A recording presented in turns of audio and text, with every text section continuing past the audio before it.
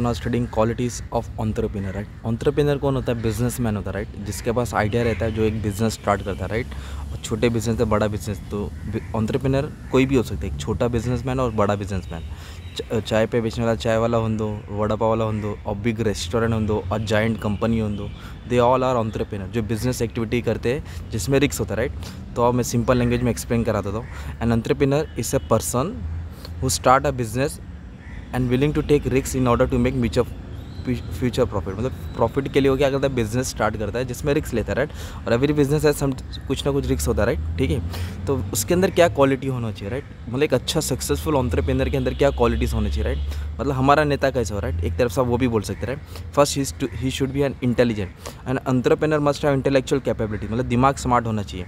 Entrepreneur is a creative thinker he has ability to analyse a business situation business में क्या चल रहा है? मार्केट एनवायरमेंट को एनालाइज होना चाहिए इंटरनल एक्सटर्नल तो एक इंटेलिजेंट होना चाहिए. मतलब अगर भोंदू रहेगा तो बिज़नेस को चला नहीं पाएगा ना। हार्ड वर्क मेहनती ऑब्वियसली कोई भी बिज़नेस जब स्टार्ट होता है, इसके लिए दिन रात एक करना पड़ता है ओके और एंटरप्रेनर मस्ट भी हार्ड वर्कर आलसी रहेगा तो नहीं चलेगा।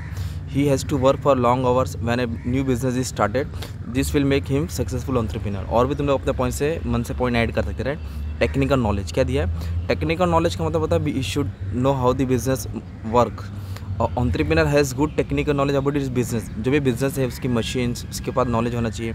Entrepreneur must update himself with latest knowledge और जैसे मार्केट में ट्रेंड आता रहता है न्यू न्यू चीज़ आती रहती है, वैसे लेटेस्ट नॉलेज उसको एक्सेप्ट करना चाहिए about the product process and technology तो he should have technical knowledge for make it the work easy future vision मतलब फ्यूचर के बारे में क्या है उसका बिज़नेस का रहा है राइट मैं अपने बिज़नेस को फ्यूचर वो मैं अपने बिज़नेस को फ्यूचर में कहाँ देखना चाहता है right that's called future vision and entrepreneur have a good future vision about the business and market condition मतलब पूरा नॉलेज होता है स्टडी करके रखता है एनालाइज करके रखता है. It will help him to make proper decision according to the situation तो सिचुएशन के हिसाब से डिसीज़न ले सकता है राइट कम्युनिकेशन स्किल जो भी ऑन्टरप्रिनर होता है, उसके बाद एक स्किल्स होनी चाहिए कम्युनिकेशन अच्छे, ऐसे मतलब एक ऐसा कम्युनिकेशन करना चाहिए कि लोग उसके बातों से प्रेर मतलब एकदम इन्फ्लुएंस हो जाए right An entrepreneur must have good communication skill. He need to communicate with customer, supplier, investor, employee, government. और proper communication will help the business to form perform well मतलब जितना अच्छे से कम्युनिकेशन करेंगे उतना लोगों से हम लोग स्टेक होल्डर से गुड रिलेशन डेवलप कर सकते हैं। फिर पर्सनल रिलेशन से एक अच्छा बिज़नेस एक्सपेंशन ग्रोथ होएगा। हाईली ऑप्टिमिस्टिक ऑप्टिमिस्टिक मतलब पॉजिटिव होता है। And entrepreneur has to always think positively हमेशा पॉजिटिव सोचना चाहिए।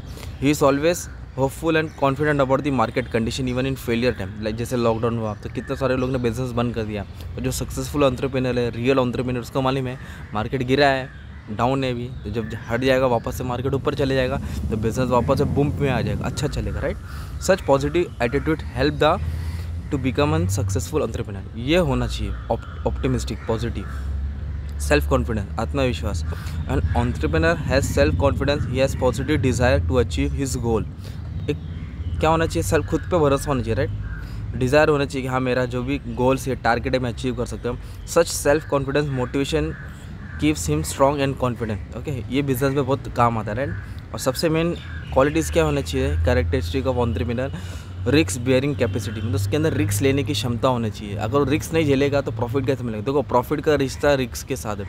हायर दी रिक्स हायर दी प्रॉफिट लोअर दी रिक्स lower the profit okay there is a direct relationship between रिक्स एंड प्रॉफिट रिक्स क्या होता है? इट इज़ अनसर्टन बोल के नहीं आता है। सक्सेसफुल अंतरप्रेनर टेक कैलकुलेटेड रिक्स मतलब ऐसे नहीं आगमन करके कुछ भी। हिसाब किताब लगाते कि मेरा इतना लॉस होएगा, मैं इतना लॉस झेलने के लिए तैयार हूँ। अगर लॉस में तो प्रॉफिट ही होने वाला right he always seeks new and more opportunities मौका ढूंढते right he focus on strength weakness of the business so that he can grab the opportunities has and when they come अपने business की ताकत, कमज़ोरी पे ध्यान रखते हैं ताकि जब भी मौका मिले उसको फ़ायदा उठा ले ओके तो ये बिज़नेस की अपनी क्वालिटीज़ पढ़े और क्या तुम लिख सकते हैं? Organising he should be good organiser resource का अरेंजमेंट होना चाहिए अरेंजमेंट करना आना चाहिए। What is the resource for required for the business four M क्या लगता है? Four M means man, money, machinery, material, good organise होना चाहिए, क्रिएटिविटी, अपना स्टाइल थिंकिंग स्टाइल एकदम क्रिएटिव डायनेमिक होना चाहिए, ताकि न्यू न्यू इनोवेटिव आइडिया से बिज़नेस को और ईजी इजी तरीके से कॉस्ट इफ़ेक्टिव मतलब कम खर्चे में ज़्यादा फ़ायदा बनाए। तो ये अपने क्या बड़े क्वालिटीज़ पढ़े राइट तो ये चैप्टर थर्ड है। तो ऑन्टरप्रीनर की क्वालिटी आवे या कैरेक्टरिस्टिक आवे, ये तुम लोग लिख सकते ठीक है? और रियल आंसर मतलब सिर्फ़ ट्वेल्थ वाले उसी को नहीं है, हर सब्जेक्ट्स हर स्ट्रीम को ये आंसर आता ही है।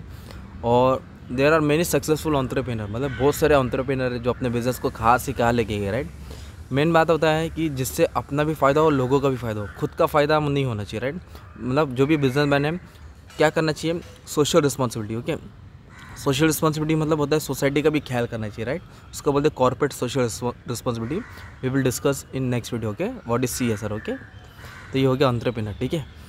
Thank you very much